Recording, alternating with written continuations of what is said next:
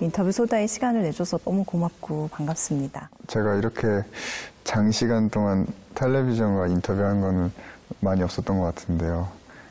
그래도 어, 좋은 음, 경험이라고 생각을 하고 그, 그 초대해 주셔서 정말 지금 감사하게 생각하고 있어요. 이렇게 사람들이 조성진 피아니스트의 공연에 열광하고 많은 관심을 갖는 걸까요? 저도 궁금하네요. 어, 아무래도 쇼팽 콩쿨 덕분인 것도 있는데, 근데 저의 이제 숙제는, 어, 저희 바람은 앞으로도 계속 그 관객들이 제 음악을 좋아해 주셨으면 좋겠다는 그런 바람이 있는데, 물론 앞으로 몇 초 만에 매진되고 이게 평생 가지는 않을 건 저도 잘 알기 때문에, 그래도, 어, 음, 제가 연주 생활 오랫동안 할 거니까 그때까지는 많은 관객들이 와주셨으면 좋겠어요. 사실 제가 이제 외국에 살고 어, 그 외국에서 연주하면서도 한국 분들이 많이 와주시긴 하지만 그럼 인기 이런 거는 솔직히 잘 실감, 실감을 잘 못하고 어, 정말 진심인데 정말 유명한 것도 잘, 잘 모르겠어요. 그 제가 콩쿨 한 지가 벌써 1년 반이 조금 넘었는데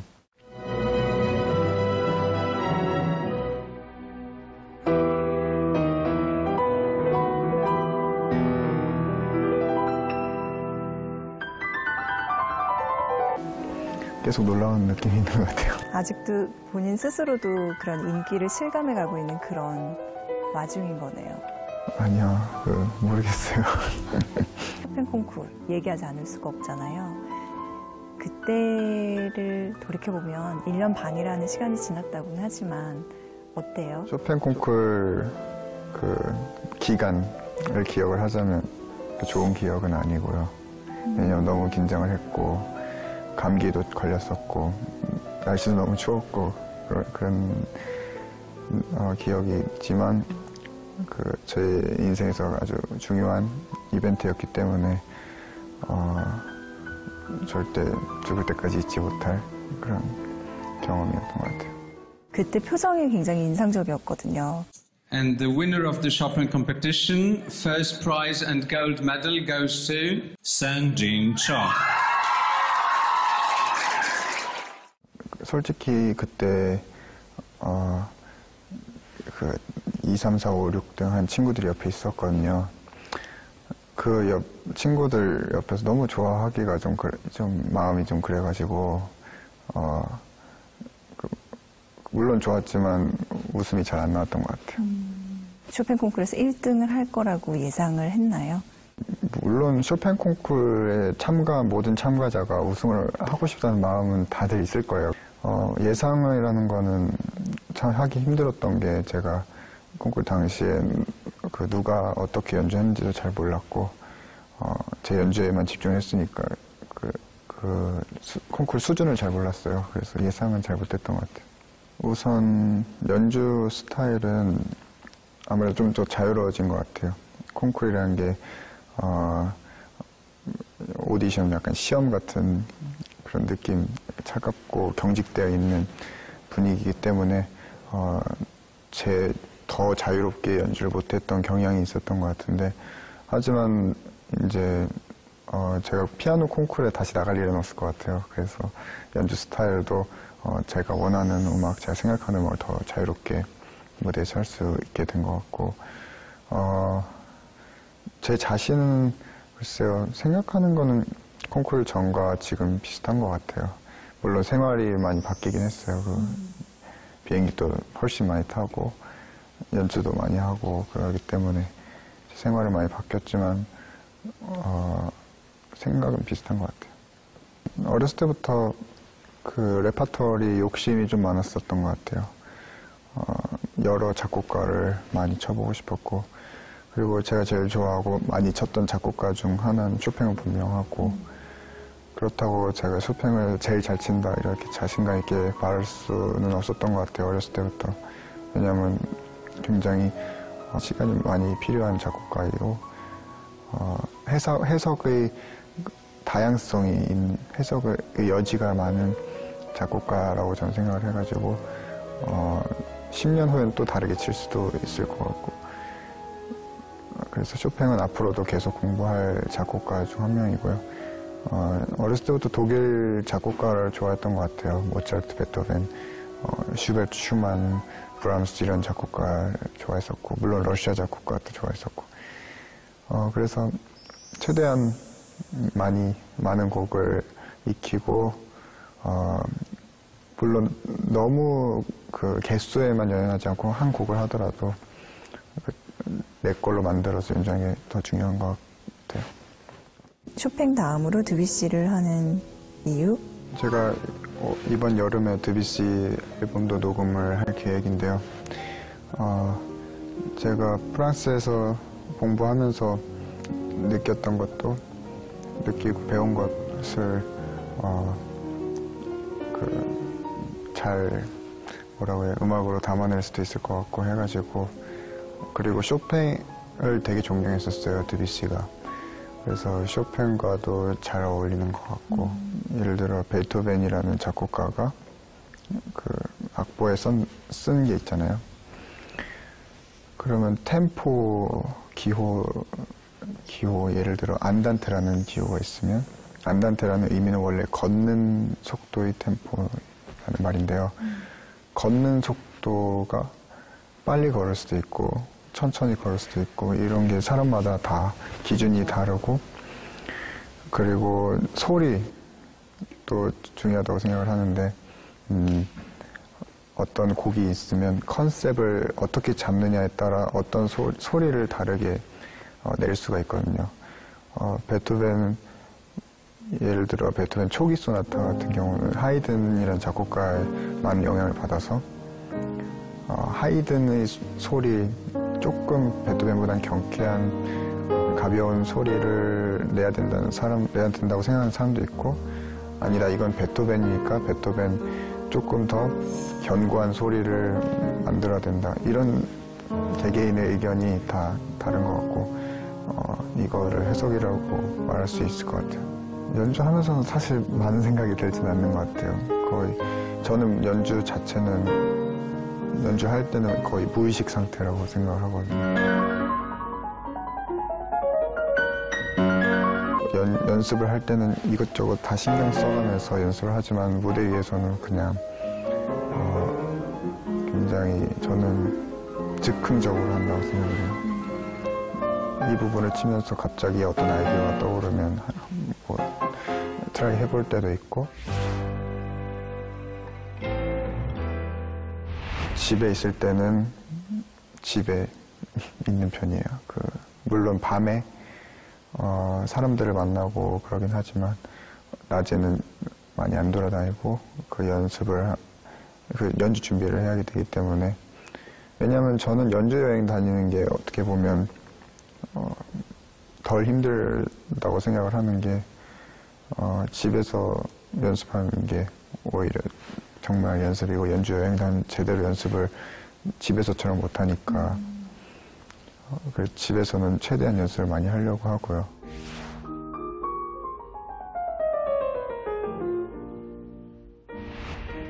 네, 물론 그러죠. 그 프랑스의 친구라고 해도 제 프랑스인 친구 중에 가장 아, 뭐 동갑 친구 몇 명 있긴 하지만 제가 가장 친한 친구 중에 가장 어린 사람이 40대거든요. 저보다 20살 많은 사람이 저랑 가장 친한 그 프랑스 친구 중 한 명인데요. 어, 그, 그 분이랑 그 사람들이랑 그 거의 뭐 시간 날 때마다 밥을 같이 먹고 한국 음식점도 가고 그 한국 음식도 소개시켜주고 프랑스 음식도 먹고 뭐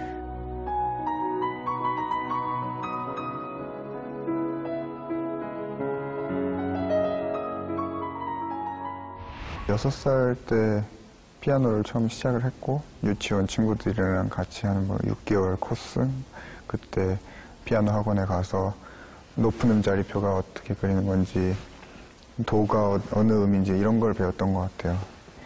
그리고 그 학원 6개월 코스를 마칠 무렵에 그 선생님, 원장 선생님이 저희 엄마한테 따로 어, 뭔가 좀 재능이 있는 것 같다. 그 개인 레슨을 받아왔으면 좋겠다라고 말씀을 하셨대요. 그래서 저는 그 그 개인 집으로 오시는 선생님한테 취미 삼아 그냥 일주일에 한 번씩 어, 그땐 연습도 안 했어요. 그, 그렇게 배우다가 초등학교 3학년 저는 근데 어렸을 때부터 항상 피아니스트가 되고 싶었어요. 아, 정말요? 네. 그래서 초등학교 3학년 때 이제 부모님도 제가 너무 좋아하는 걸 아시니까 알아 뭐 어떻게 알아보셔서 예술의 전당 영지 아카데미라는 곳을 발견하게 돼서 거기 오디션을 봐서 이- 그 합격을 해서 다니게 됐어요. 그래서 그때 처음으로 이제 교수님한테 레슨을 받기 시작했어요.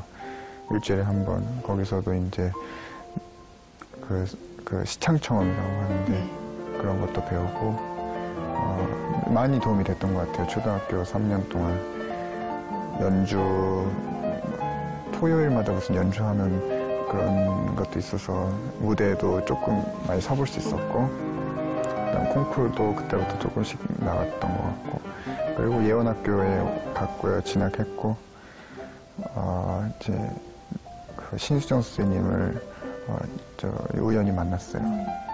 2007년 3월에 만났는데 그 선생님이 오셨어요. 그 제 연주 제 연주는 아니고 저 10분 치는 뭐 여러 학생들이 하는 연주에 오셔가지고 저를 그때 처음 보시고 그래서 어떻게 인연이 돼서 그 해부터 선생님한테 본격적으로 어, 레슨을 받게 됐고요.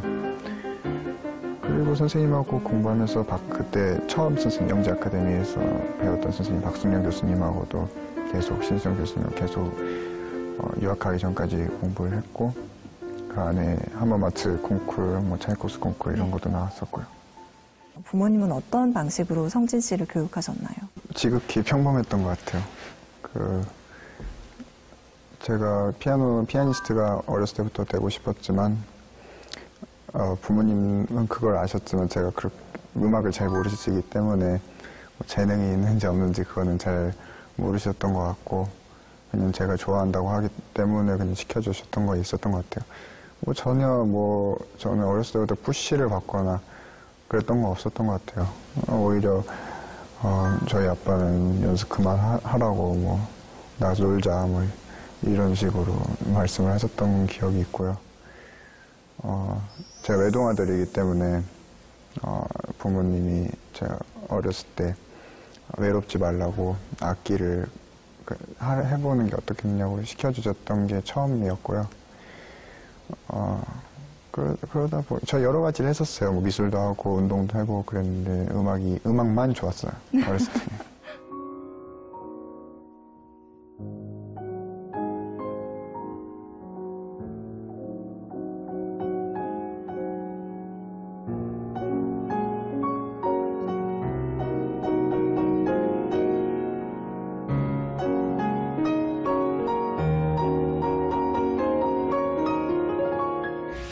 지금의 조성진을 만든 건 뭐라고 생각하는지 그런 생각도 해본 적 있나요?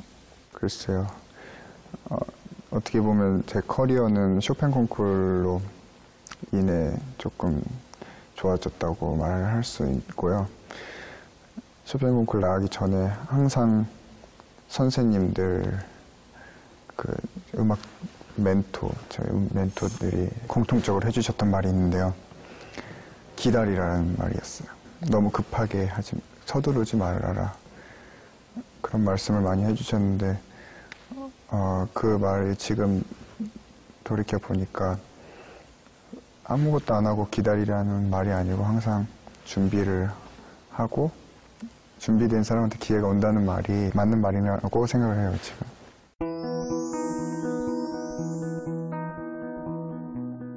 피아니스트 조성진이 생각하는 훌륭한 연주란 뭘까요? 어떤 걸까요? 너무 어, 많은데요. 저 같은 이제 피아니스트로서 그 피아니스트 연주를 보는 거하고 일반 관객들이 보는 건 굉장히 다를 거예요.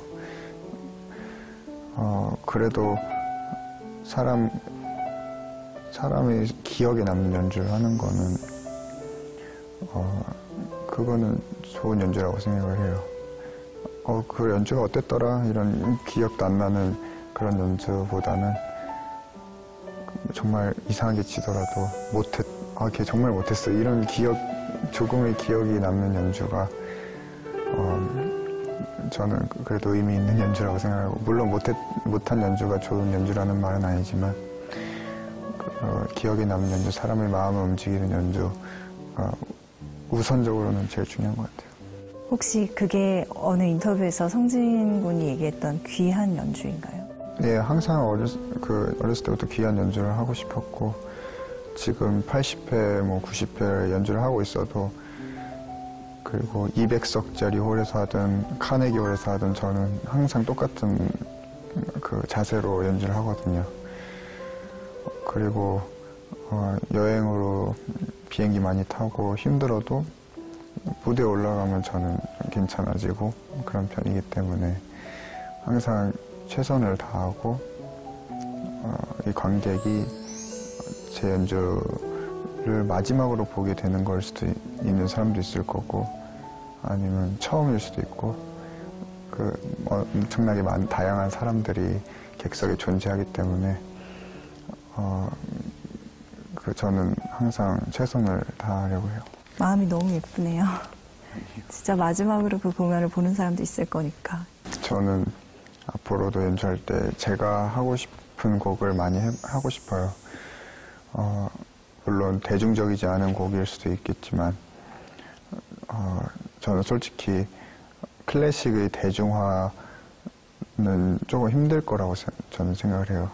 좀 위험한 말일 수도 있겠지만, 어, 왜냐하면 그러면 클래식 그 음악의 본질을 잃어버릴 수도 그런 위험성이 있기 때문에 저는 많은 대중들이 클래식화가 됐으면 좋겠다 이런 바람이 있고요. 음 악에서 가장 중요한 거는 즐긴다는 것 같은데요.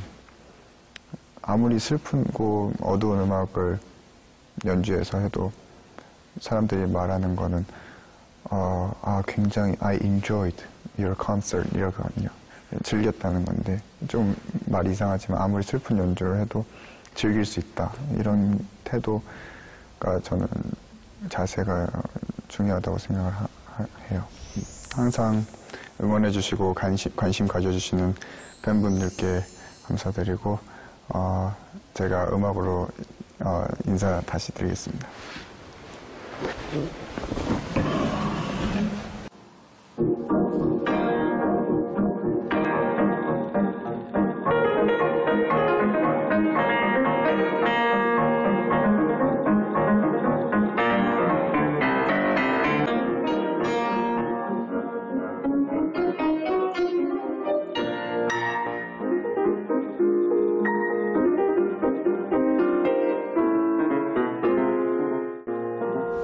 하고 싶은 얘기가 있다면 해줘도 좋아요. 제가 원래 말을 많이 하는 편이 아닌데 오늘 많이 한 것 같아요. 아, 그래요?